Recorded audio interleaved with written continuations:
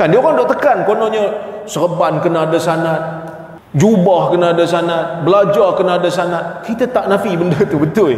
Tapi bila kita cek rupanya dia orang pun tak kenal orang dalam sanad tu. Ni wakil pengamal ni. Saya tanya dia direct saya tanya dia kenal tak ni? Tak kenal. Mungkinlah dia kata kejap saya semak kitab. Saya pun bukan kenal semua perawi tapi saya boleh cek dalam kitab. Kalau benda tu pegangan saya kan? Sebab dia tekankan kepentingan sanad sepatutnya kenal lah tapi dia tak kenal tapi tak boleh mungkin orang lain kenal kot eh. ini maksudnya? Inilah yang berlaku dalam dalam mesyuarat baru-baru ni.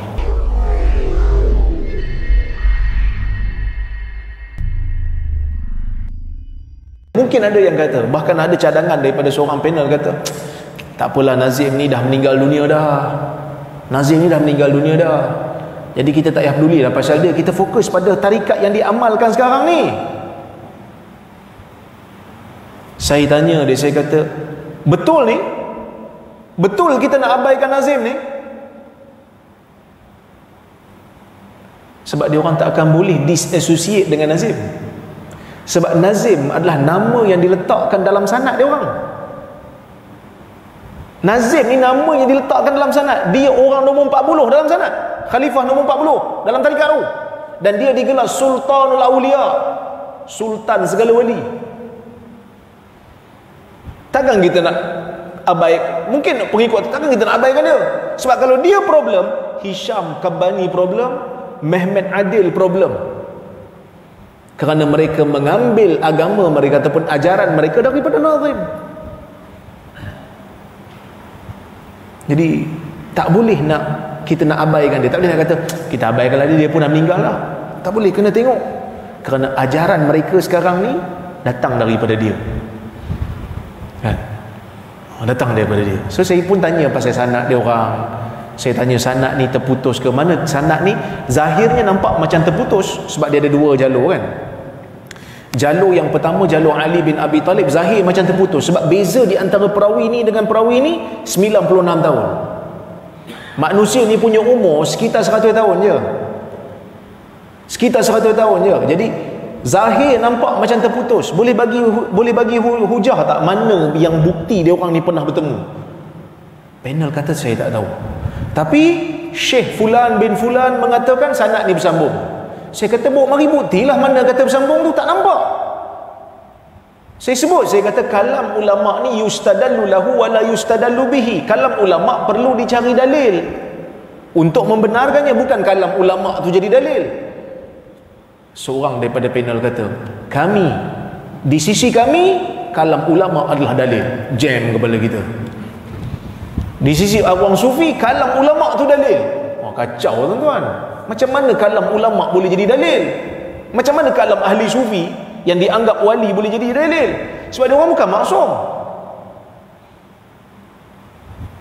Jam kepala kita mikir tuan-tuan ini pelik.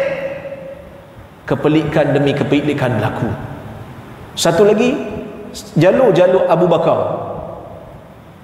Datang jalur daripada Abu Bakar, saya tanya dua orang perawi. Siapa dia ni? Siapa dia ni? Tak dikenali. Dia orang tak kenal. Kan? Maknanya sebelum-sebelum ni yang dia tekan mesti kita belajar, mesti ada sanad, mesti ada sanad, mesti ada sanad. Dia orang yang ada sanad, dia orang pun tak kenal siapa orang dalam sanad tu. Kan dia orang duk tekan kononnya serban kena ada sanad, jubah kena ada sanat belajar kena ada sanat. Kita tak nafi benda tu betul? Tapi bila kita cek rupanya dia orang pun tak kenal orang dalam sanat tu. Ni wakil pengamal ni. Saya tanya dia direct saya tanya dia kenal tak ni? Tak kenal. Mungkinlah dia kata kejap saya semak kitab. Saya pun bukan kenal semua perawi tapi saya boleh cek dalam kitab. Kalau benda tu pegangan saya. Kan? Sebab dia tekankan kepentingan sanat. Sepatutnya kenal. lah tapi dia tak kenal tapi tak boleh mungkin orang lain kenal kan ini maksudnya? Inilah yang berlaku dalam dalam mesyuarat baru-baru ni. Jadi tuan-tuan sebab tu saya kata kita orang awam ni kalau boleh jauhkanlah benda-benda ni. Pelik.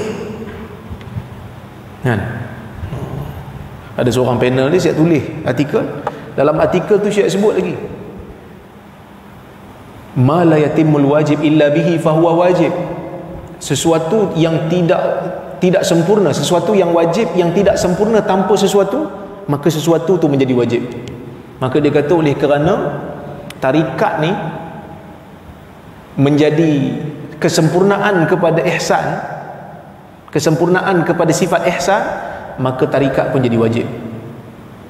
Siapa-siapa yang jika ada orang yang mendakwa bertasawuf tanpa bertarikat dakwaannya itu kosong. Maksud orang orang awam wajib bertarikat tuan-tuan bertarikat tak? ha? mana? Ada tarikat tuan-tuan? tak ada tarikat ha, jadi tak ada tarikat kira berdosa?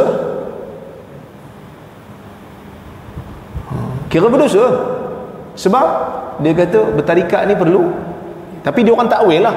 Bila kita tanya tu dia orang takwil lah. Dia orang kata oh ini khas untuk orang yang tak mampu nak buang sifat mazmumah dalam diri melainkan dengan tarikat jadi wajiblah tarikat untuk dia saya kata pelik takwilan ni sebab dalam paper ni sebut jika ada sesiapa yang mendakwa bertasawuf tanpa bertarikat maka dakwaannya kosong macam tu lebih kurang. Saya tak apa ayat dia tapi itulah maknanya. Maksudnya siapa-siapa pun yang kata dia boleh bertasawuf tanpa bertarikat, dakwaan kosong. Tak ada bukti lah. Maksudnya tak boleh lah bertasawuf tanpa bertarikat ni. Waktu kami duk tekan, duk tekan, duk tekan. Jadi akhirnya kita tak dapat jawapan yang tuntas. Dan mereka akhirnya pada beberapa isu mereka kata ini syatahat. Syatahat ni kira benda-benda yang disebutkan dalam keadaan dia tu tak sedar. Tak sedar diri. Mungkin kerana terlalu asyik terlalu terlalu orang kata apa rindu dengan Tuhan sampai sebut benda-benda macam latah benda yang tak sedih sedar maksudnya dia orang percayalah akhirnya iktiraf jugalah ada perkataan-perkataan yang tak betul yang disebutkan. Cuma dia orang bagi uzur dia orang kata ini mungkin syatahat. Syatahat ni maksudnya benda yang benda yang menyanggahi syariat pada zahirnya tapi di, diucapkan dalam keadaan orang tu tak sedar. Kan orang tu tak mungkin tak sengaja. Tuan-tuan bayang Husin Husin bin Ali dibunuh di Karbala. Tapi Nazim kata Husin tak mati. Husin dibawa lari oleh wali-wali ha bayangkan kalau kita kata kalau betul Husin tak mati Husin dekat mana sekarang